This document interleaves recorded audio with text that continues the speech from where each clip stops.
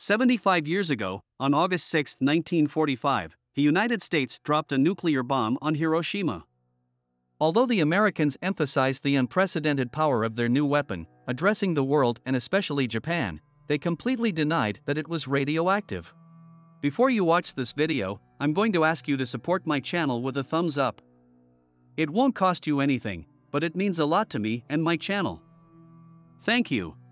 There is no residual radiation after the explosion, the city is completely safe for humans, and the Japanese reports of atomic poisoning are propaganda. How and why have the US authorities, by all means, from military censorship to articles by scientists in the media, for many years concealed, denied, and downplayed the facts of radioactive contamination and radiation sickness? This article was first published in 2015, on the 70th anniversary of the bombing. Any information about the effects of the atomic bombings of Hiroshima and Nagasaki was immediately declared a military secret, but the three main results explosions, fires, and radiation were treated very differently. The strength of the explosion was glorified by the Americans in every way possible. In the first official report on Hiroshima, President Truman declared that a single bomb, more powerful than 20,000 tons of dynamite, had been dropped on the Japanese city. The press focused on the physical destruction. Between August 7 and 31, the New York Times devoted 16 articles to it. Damage from fires attracted far less attention not because of censorship restrictions, but because after the bombing of Dresden and Hamburg such consequences had become commonplace. The Americans blocked information about radiation contamination on all fronts. They seized reports from Japanese doctors, censored the press, intimidated independent scientists, and misled the public bans, threats, and soothing propaganda. Once Japanese doctors and scientists reached Hiroshima, they noticed strange symptoms in bomb survivors. Gamma radiation was indicated by blackened photographic paper and X ray film. However, the head physician at Hiroshima Hospital, Michihiko Hachiya, did not understand what his patients were dying of. Hachiya suspected that a chemical or bacteriological bomb had been dropped on the city. By the end of August, autopsy reports showed damage to all the organs that make up blood cells, and Hachiya spoke of radiation sickness for the first time. The terminology was not yet settled, the Japanese referred to the ailment as atomic bomb sickness, X ray disease, atomic poisoning, and atomic plague. The US administration confiscated all Japanese doctors' reports, case histories, photographs, and biopsy data. Most of the material was sent to the US and partly translated into English. Since the Japanese collected their data only a few days after the explosions, they became an invaluable source of information for American doctors and chemical and radiological weapons experts, of course, those who had security clearance. All Japanese materials were sent to the Military Institute of Pathology where they were classified as top secret for many years. In America itself, the military could not afford such censorship.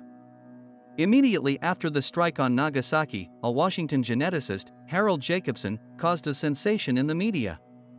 All who enter Hiroshima are doomed to death, the monstrous force of the explosion makes radioactive all the substance around.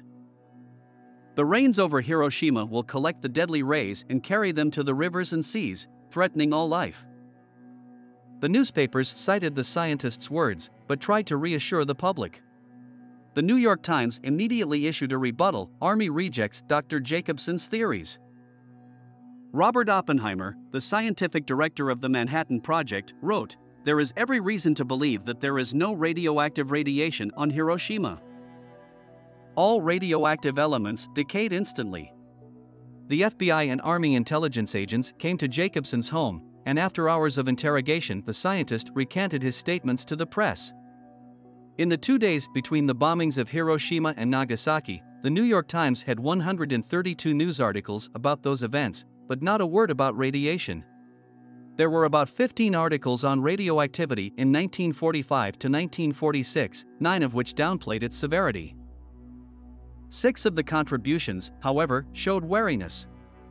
Until the physicists who gave us the bomb and the doctors make clear statements, we can only hope that Tokyo has exaggerated the effects of radiation in order to gain the sympathy of the world public. August 25, 1945 article. But the paper's generally optimistic view of the new weapons was due in no small part to the persona of the New York Times science correspondent, William L. Lawrence. He was the only journalist allowed into the Los Alamos laboratory, observing the first nuclear weapons test, Trinity, and the bombing of Nagasaki. He was taken to fly in the corrective action plane. Lawrence's articles either ignored or denied the fact of radioactive radiation after a nuclear explosion. Here is the headline of the first piece he wrote in Japan, September 12, 1945 No radiation on the ruins of Hiroshima. It is not known whether Lawrence knew he was misleading readers or whether he simply trusted his sources in the US Army. The truth comes out. But how are Americans still able to learn the truth about the penetrating radiation and radioactive contamination of the area? Largely due to the conflicting interests of various government agencies. As many as four teams were sent to Japan to study the biomedical effects of the bombing, from the Manhattan Engineering District, the U.S. Navy, the Strategic Bombing Survey Board, USSBS, and a joint commission of the Army, Navy, and nuclear scientists. The report of the Joint Commission was safely concealed under a seal of secrecy. Its first part, External Damage to Hiroshima, notes the high health hazards posed by various kinds of radiation are discussed in the medical part of this report. However, neither in the file nor in the corresponding collection of the National Archives was it possible to find this part. By the way, many other medical documents in this fund were declassified twice, in 1961 and in the 1990s. Probably, in the middle of the century, they decided to close them from the general public again, however, the repeated declassification could be related to a more thorough check of the documents. On June 7, 1946, a voluminous and richly detailed report was presented by the USSBS staff. The multiplicity of the expert group, 110 people, and the anonymity of the text must have given the authors courage. It was frankly admitted that the deadly consequences of the explosion and the insidious threat of gamma rays speak for themselves. The report detailed the stages of radiation sickness, the risk of infertility and miscarriages among victims of the bombing. Even timely medical treatment would prevent at most 5 to 8% of deaths. The report was openly critical of the medical director of the Manhattan Project, Stafford Warren, who had assured the Senate Atomic Energy Commission that radiation exposure was responsible for 7 to 8% of deaths in the two Japanese cities. In fact, the figure was as high as 15 to 20%, the USSBS experts pointed out. Ten days later, the Manhattanites released their report. It was inspired by General Leslie Groves, and his subordinates struggled to refute the USSBS findings. Radiation sickness was not mentioned at all as a cause of human casualties at Hiroshima and Nagasaki.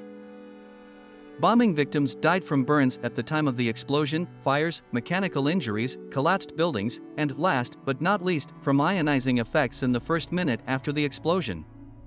The authors of the report emphasized that the induced radioactivity from the fission products of the nucleus did not cause disease or death. The most frank was the Navy report. It came out quite early, December 1945. Its authors cooperated with Japanese doctors and scientists and performed autopsies on 14 victims of radioactive radiation. Only the Navy indicated deaths from secondary radiation induced radioactivity in the urban environment. Most likely, the reason is that the Navy, in contrast to the Army, was not responsible for the development and use of atomic bombs and could afford an objective assessment of the consequences. The authors of the report recommended that its contents be made public immediately, but despite this request, the text was not declassified until 1976. Reasons for the secrecy. But why was information about radioactive contamination hushed up and denied in the United States? After all, as early as 1945, it became clear to the military and scientists that radiation was killing tens of thousands of people in Japan. Why was it necessary to gloss over the obvious? First, US authorities wanted to make sure that soldiers who landed in Japan were not endangering their health. A high ranking Army official specifically instructed Donald Collins, a Manhattan Project engineer, a dosimetry specialist, your job is to prove that there is no radiation left after the bomb. And later, even though a typhoon never allowed Collins' group to reach Nagasaki, the scientists were surprised to read the finished conclusions of their study in Stars and Stripes, the official newspaper of the U.S. Department of Defense. Second, the Manhattan Project staff paid remarkably little attention to ionizing radiation after the first tests of the atomic thing at the New Mexico test site, May-July 1945. In memos from that period, some scientists warned that there would be a burst of radioactive radiation in the first seconds after the explosion, but their concern was solely for the safety of the bomber crew. According to historians, due to the high level of secrecy and the fragmented nature of parts of the work on the bomb, scientists rarely shared information even with each other, let alone with the public.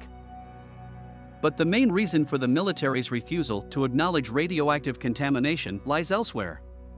The army and civilians who created the atomic weapon and authorized its use against Japanese cities wanted the bomb to be perceived as an ordinary weapon used in a just war, just more powerful. And when reports appeared in the Japanese and European media about poisonous gas flowing across the ground, soaked with radiation from the fissile atoms of uranium, the US was quick to call it propaganda. However, alarm was raised in official circles, none of the authors of the Manhattan Project wanted his name associated with chemical and biological weapons, and the United States was the first country to use chemical munitions in World War II.